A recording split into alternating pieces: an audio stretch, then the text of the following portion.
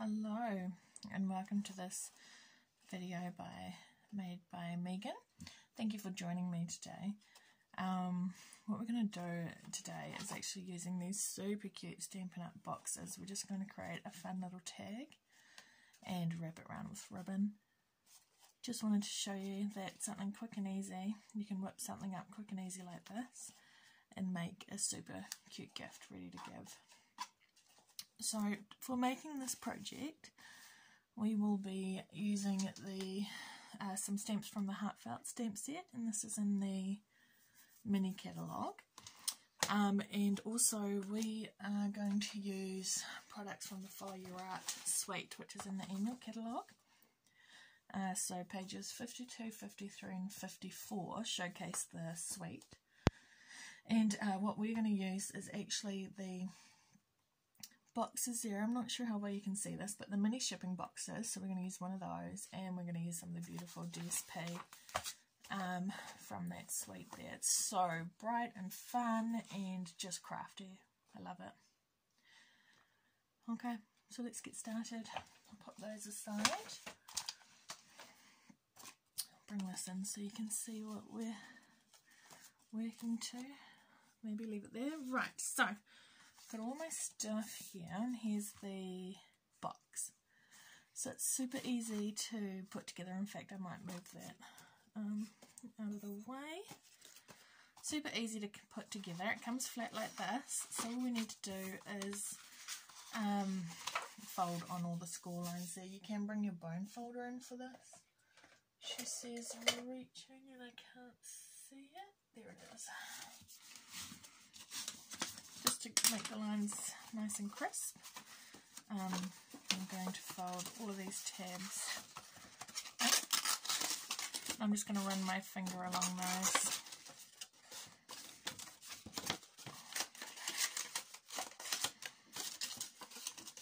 Cool.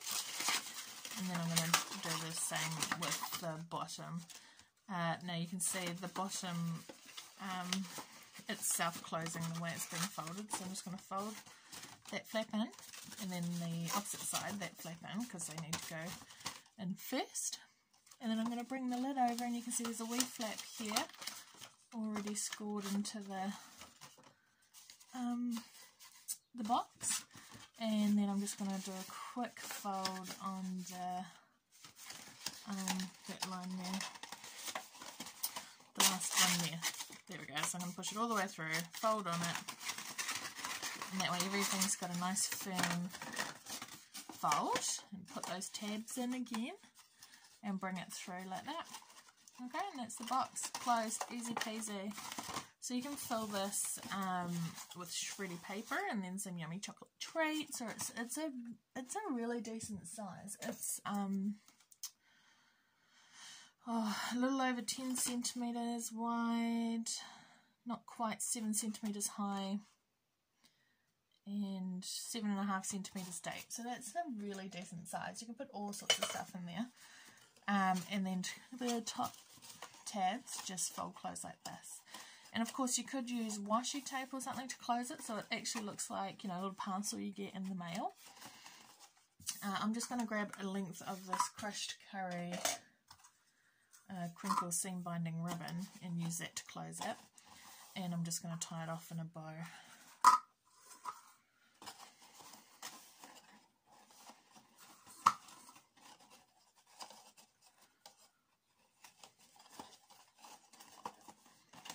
Here we go, fingers and thumbs for the video today, of course.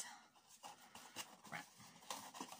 The box doesn't move around so much once you've actually got things in it as well, so it's just quite light for me because it's empty.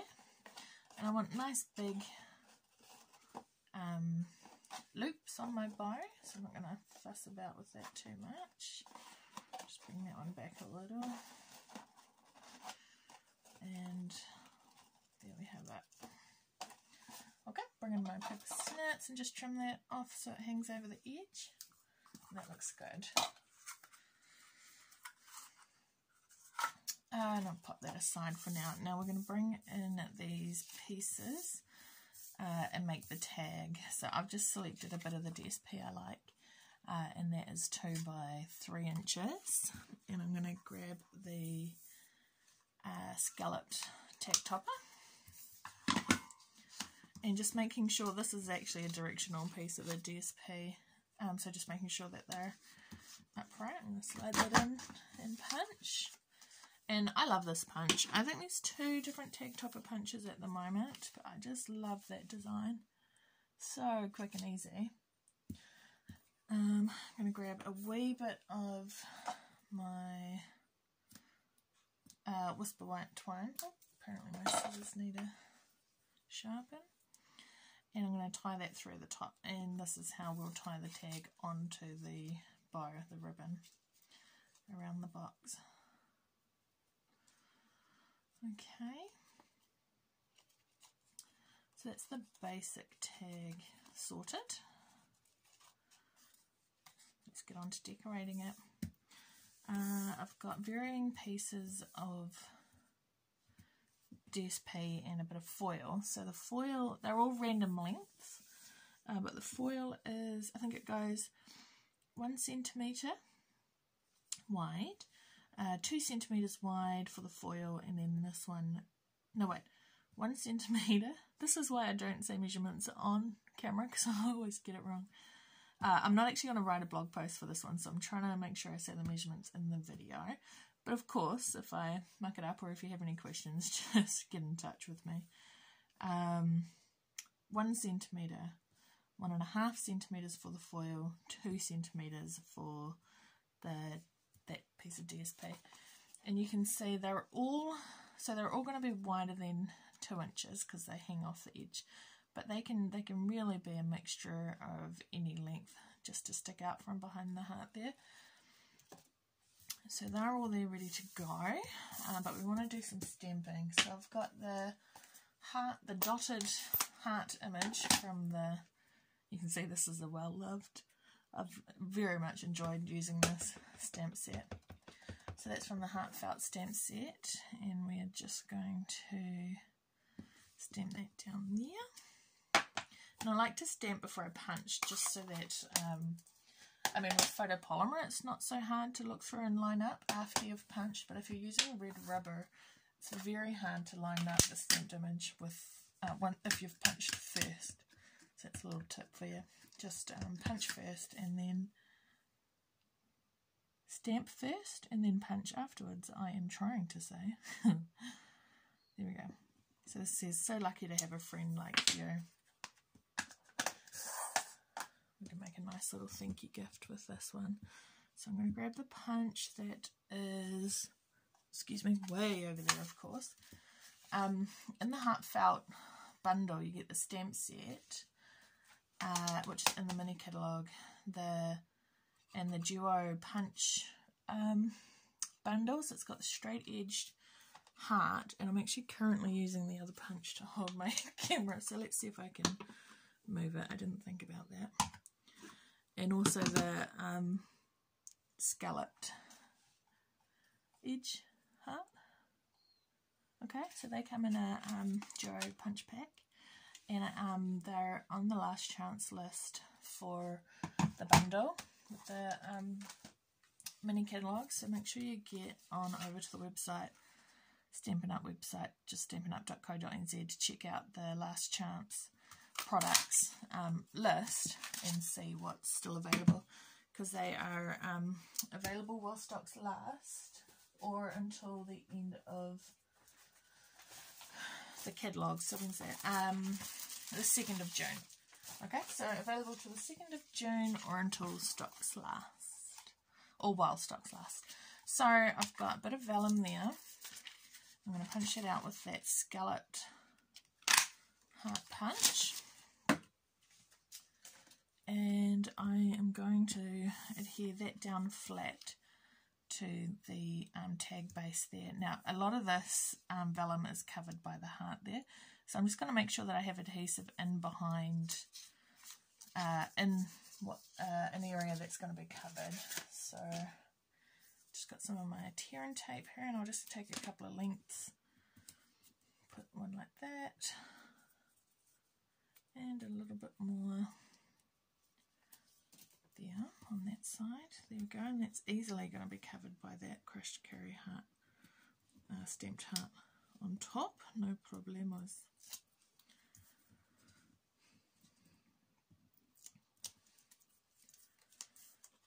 Cool, and I'm just going to centre that top to bottom just between the punched hole and the base and left to right as best I can. There we are. That looks good. And then I've got these um, pieces going down flat, so I'll just use my Tombow for that, my multi-purpose liquid glue. And because I know the edges hang off, I'm not going to put adhesive right to the two ends. I'm just going to have it in the middle. So I want it to mostly be hanging off this side, so I'm going to bring it in sort of nearer the bottom of the heart and only a little bit sticking off this side, but mostly sticking on that side. Let's see if I can get this straight. I mean, straight is nice, isn't it, guys? We could we could try for that. Okay, I think that's not so shabby. We'll put on the foil piece.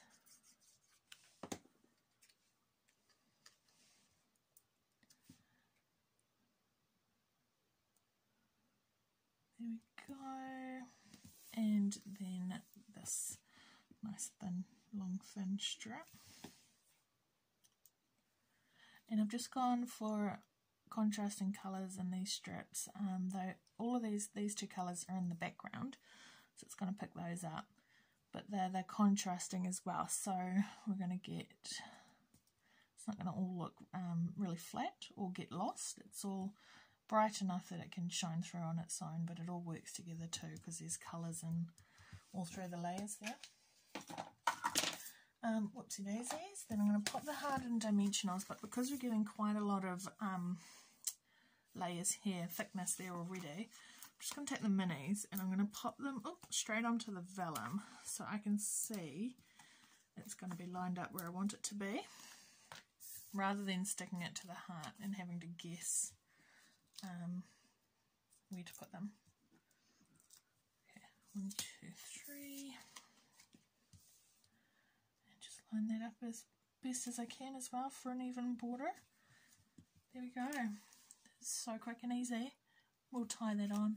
And you can see the back, I chose a piece where the reverse pattern was um, light enough to write on. So I'll just use a black pen to write through there.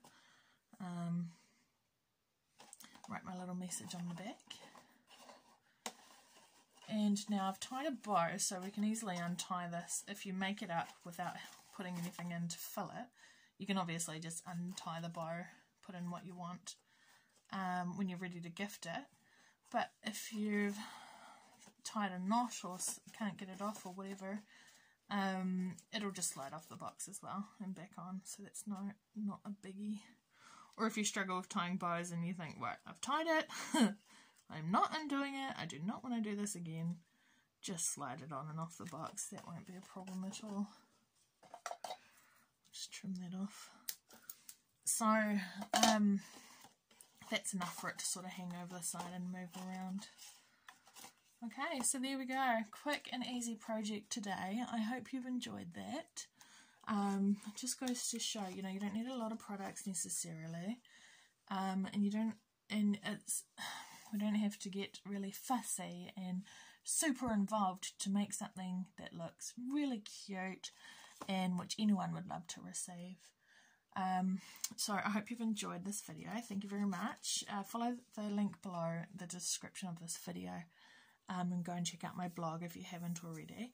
And um, if you need to place an order to get anything from the Last Chance products or from the um, range of Stampin' Up products, I would so appreciate your order.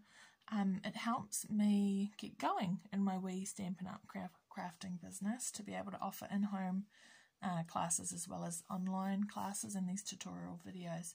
So you can get in touch with me at megantiermade at gmail.com and I'll have that in the description below. Um, and you can also find me on Facebook and I'll make sure I have that link below as well. Um, right, well, thanks for watching, guys. Have a great day. Bye.